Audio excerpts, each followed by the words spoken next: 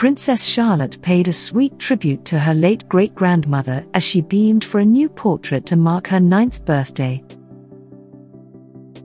Her mother, the Princess of Wales, was back behind the camera again to snap an image of her daughter to mark her special day on Thursday.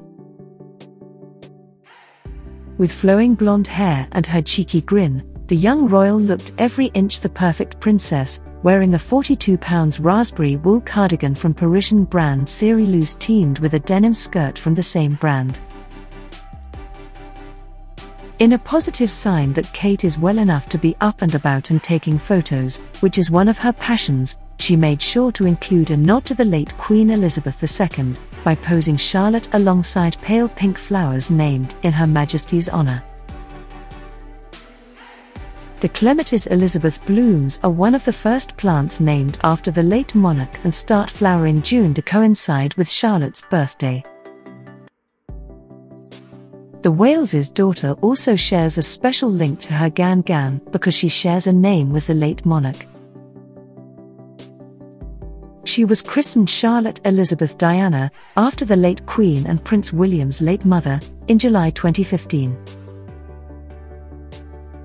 It's the second time in recent weeks that Kate and William Royals have broken with their long held tradition for releasing their children's birthday portraits.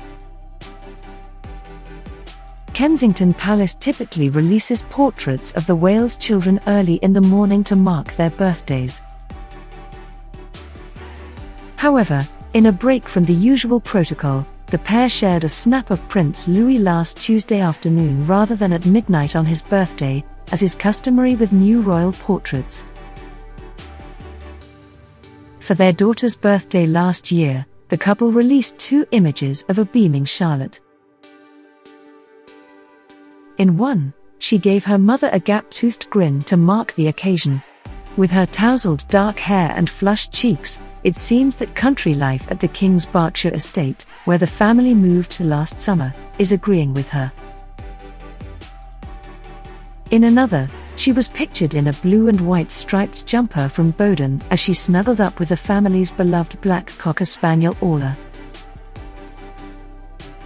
Charlotte, who is third in line to the throne, attends the coeducational private Lambrook School near Ascot in Berkshire, and loves dancing, especially ballet and tap,